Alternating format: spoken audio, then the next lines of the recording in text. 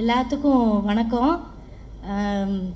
ராவணக்கோட்டம் இந்த படத்தை பற்றி சொல்லணும்னா நான் வந்து ஒரு ஸ்கூலுக்கு போயிருந்தேன்னு தான் சொல்லணும். நான் நிறைய பேட்டிகளில் சொல்லியிருக்கேன். இந்த படம் நடித்த புதுசில் விக்ரம் சுகுமார் அண்ணங்கிட்ட நடித்தோன்னா அந்த ஒரு படத்தில் நடித்து நான் ஒரு மாணவியாக நான் சொல்கிறேன் அந்த மாதிரி ஒரு நல்ல ஆசிரியரை நம்ம பார்க்க முடியாது. நம்ம நடிப்பு கற்றுக்கணுன்னா ஒரு நாள் வந்து விக்ரம் சுகுமார் அண்ணன்ட்ட வந்து நடிப்பு கற்றுக்கிட்டா போதும். அவ்வளோ சூப்பராக நடிக்கலாம். அந்த ஆசிரியருக்கு என்னுடைய மனமார்ந்த நன்றி. ஏன்னா சீரியலில் இருக்கிறவங்களுக்கு தெரியும் நான் ஒரு சில டைரக்டர்களை ரொம்ப ஆசிரியராக மதிப்பேன். அதில் வந்து அண்ணா வந்து ரொம்ப முக்கியமாக இப்போ நான் நினைக்கிறேன். இன்னொன்று இங்கே ஒரு மனிதரை நான் ரொம்ப அறிமுகப்படுத்தணும். ரொம்ப மனிதநேயம் உள்ள மனிதர் ஏகாதசி அண்ணா. என்னுடைய செல்ல அண்ணா. முதல் முதல்ல வந்து ஒரு அண்ணன் தங்கச்சி பாசம் இருக்கு அவங்களுக்கும் உருவானது வந்து ரொம்ப வருஷத்துக்கு முன்னாடி எந்த உதவி கேட்டாலும் ஒரு மனிதன் வந்து நம்ம உதவி தேடி போகணும்னு அவசியம் இல்லை. தேடி வந்து உதவி செய்வார். எங்கள் அண்ணே நான் நடிகர் சங்கத்தில் சேர்றதுக்கு முக்கிய காரணமே அண்ணன் தான். அண்ணே ரொம்ப நன்றி அண்ணா. இந்த இடத்துல அதை கண்டிப்பாக சொல்லி ஆகணும். ஒவ்வொருத்தரை பற்றியும் கண்டிப்பாக சொல்லணும்.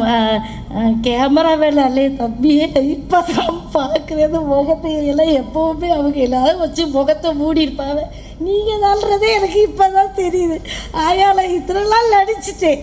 இருந்தாலும் தம்பி நீ மறக்காமல் நீங்கள் சொன்னதுக்கு ரொம்ப நன்றியா? ஒவ்வொரு ஒவ்வொருத்தரையும் நம்ம பற்றி கண்டிப்பாக பேசி ஆகணும். நானும் தம்பியும் வந்து ராவண கோட்டம் நடிச்சுக்கிட்டு இருக்கும்போது உட்காந்து கதை கதையாக பேசுவோம். எப்படி நம்ம வாழ்க்கையில் ஜெயிக்க போகிறோம் நான் இந்த கஷ்டப்பட்டேன் இதை கஷ்டப்பட்டேன் எப்படி வந்துடுவேன் அப்படின்னு சொல்லி அதே மாதிரி அக்கா ஓரளவு இப்போ பல படங்களில் நடிச்சிட்டேயா அதே மாதிரி நீயும் நடிப்ப கவலைப்படாத.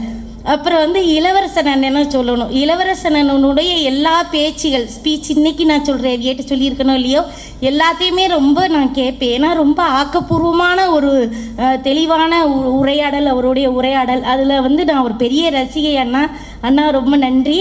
அப்புறம் வந்து சாந்தனு தம்பி கண்டிப்பாக சொல்லியே ஆகணும். எனக்கு வந்து இந்த படத்தில் ஒரு நல்ல தம்பி கிடச்சிருக்காப்புல. நல்ல கூட பிறந்த தம்பி மாதிரி ஆயிட்டோம். தம்பி கூப்பிட்டோன்னே நாங்கள் இருந்து ஓடியா இருந்துச்சு ஏன்னா ஒருத்தர் பழகுற விதம் தான். எங்கிட்ட காசு இருக்கலாம் பணம் இருக்கலாம் புகழ் இருக்கலாம் அதெல்லாம் ரெண்டாவது. ஒருத்தவங்க நம்மக்கிட்ட பழகிறாவில் அந்த அன்பு தான் நம்மளை எங்கேயும் கட்டி கூட்டிகிட்டு போவோம் இந்த படத்தில் வந்து ஒரு பெரிய வாழ்வியல் கண்டிப்பாக சொல்லியிருக்காங்க. இந்த படத்தில் தீபாக்கா நடிக்கலை.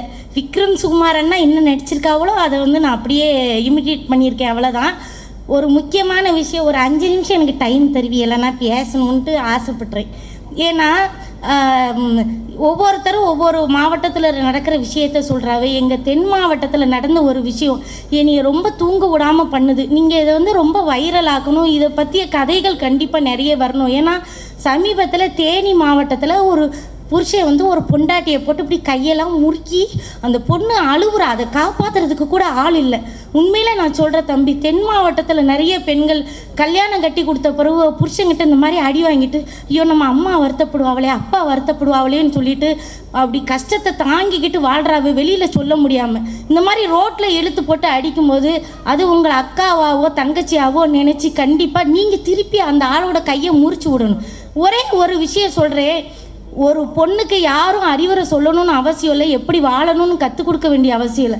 ஒரு கோட்டு போட்டு என்னுடைய வாழ்க்கையை நான் இப்படி தான் வாழுவேன் நிர்ணயிச்சு ஒரு பொண்ணு வாழ்கிறாப்பார் அவளை யாரும் கையை பிடிச்சி இழுத்து கோட்டுக்கு வெளியில் கொண்டு வரவும் முடியாது. கோட்டுக்கு வெளியில் இருக்கிற நீ இப்படி தான் வாழணும்னு சொல்லி கோட்டுக்கு அந்த பக்கம் நீங்கள் அனுப்புறதுக்கு முயற்சி பண்ணவும் முடியாது. அது அவளுடைய மனசு சம்மந்தப்பட்ட விஷயம். தயவு செஞ்சு அடித்து யாரை யாரையும் துன்புறுத்துறாங்க உங்களுக்கு கடவுள் பலம் எதுக்கு கொடுத்துருக்காருன்னா பொம்பளை பிள்ளைய நீங்களை பாதுகாக்கணும். எதுக்கு நீங்கள் எங்களுக்கு தாலி கட்டி உங்கள் வீட்டுக்கு கூட்டிகிட்டு போறீங்க? இப்போ உங்களுக்கு நாங்கள் பாதுகாக்கப்பட்ட உரிமைப்பட்ட பொருள். உரிமை கிடைச்சிருச்சுங்கிறதுக்காக அடித்து கொடுமைப்படுத்துறதுக்காக எந்த தகப்பனும் ஒரு பொம்பளை பிள்ளைய வளர்க்கல. அதை நல்லா புரிஞ்சுக்கிடணும். இன்னொன்று நீங்கள் எப்படி பிறப்பெடுத்து வளர்ந்து வாரியலோ அதே மாதிரி தான் நாங்களும் ஒரு பிறப்பெடுத்து வாரோம். எங்களுக்கும் ஆசை இருக்கும் எங்களுக்கும் பாசம் இருக்கும். நாங்களும் அதே உணர்வு ஆசைகளோடு தானே இருக்கோம். அது எப்படி உங்களை கல்யாணம் பண்ணோன்னே அவளத்தையும் விட்டுட்டு இருக்கணுமா? பிடிக்கலைன்னா பிடிக்கல. தான் அதுக்கு காரணம் ஏதாவது சொல்ல முடியுமா? ஏன் என்னையை பிடிக்கலன்னு சொல்லி அடித்து துன்புறுத்தாதீங்க. முதல்ல இந்த அடிக்கிற வித விதத்தை வந்து தயவு செஞ்சு மாற்றுங்க அண்ணன் தம்பிமார்கள். இந்த இத்தனை பத்திரிகையாளர்கள் நான் என்னோட யூடியூப்பில் போட்டேன் இந்த விஷயத்தை பற்றி யாரும் பார்க்கல. ஏன்னா என் சோக கதையை சொன்னாதான் எல்லாரும் பார்ப்பேன்றாங்க. நான் என் யூடியூப் பெரு வ- விளம்பரத்துக்கு இதை நான் சொல்லலை. அல்ல நான் என் யூடியூப் பேர் கூட நான் சொல்லலை. எதுக்கு நான் சொல்கிறேன்னா வருங்காலத்தில் இத்தனை இளைஞர்கள் இருக்கீங்க. இனிமேல் கல்யாணம் முடித்தா அது நம்மளை மாதிரி ஒரு சம உயிர். அந்த உயிரை உன்னால் பாதுகாக்க முடியும் அதை பார்க்க முடியும்னு தெரிஞ்சால் மட்டும் கல்யாணம் முடிங்க. இல்லை கல்யாணம் முடிக்காது. இங்கே யாருங்க கல்யாணம் பிடிச்சிட்டு வாங்கன்னு இங்கே அங்கிக்கிட்டு கிடக்கல. அதை புரிஞ்சுக்கங்க. தயவு செஞ்சு தம்பிமார்களுக்கு நான் சொல்கிற ஒரே விஷயம். பொம்பளை பிள்ளைங்க ரொம்ப மென்மையானவர்கள். அந்த உடம்பு அடி வாங்கினா தாங்குமா? மனதிடம் உள்ளவர்கள் உங்களுக்கு ஏதாவது ஒரு பிரச்சனை வந்தால் உங்கள் வாழ்க்கையில் கடைசி வரைக்கும் உயிரை கொடுத்து காப்பாற்றுவா கவலைப்படாதீங்க நான் இருக்கேன்னு தைரியம் கொடுப்பேன் அந்த தைரியம் ஒரு பொம்பளைக்கு இருக்குது அதனால் யாரும் யாருக்கும் அறிவுரை சொல்ல வேண்டாம். ஒரே ஒரு விஷயம் நான் பொம்பளை பிள்ளைங்களுக்கு சொல்கிறது நம்ம யார்கிட்ட வேணாலும் பழகிறோம் நம்ம பிடிக்கிற கை வந்து நம்மளுக்கு பாதுகாப்பு கொடுக்குற கையாக இருக்கணும். அது மட்டும் தெரிஞ்சுக்காங்க. அதை ஒன்று தான் அக்கா சொல்லுவேன். யாரும் யாரையும் நேசிக்கல. அதில் தப்பே இல்லைங்க. அன்பில் என்னங்க தப்பு இருக்குது நல்ல உறவு கள்ள உறவுன்னு எந்த உறவும் கிடையாது. நம்ம பிடிக்கிற கை வந்து பாதுகாப்பான கையாக இருக்கும் நம்மளை வந்து கொண்டு போய் கொடுமைப்படுத்துகிற இடத்துல தள்ளி விடாத கையாக இருக்கணும்.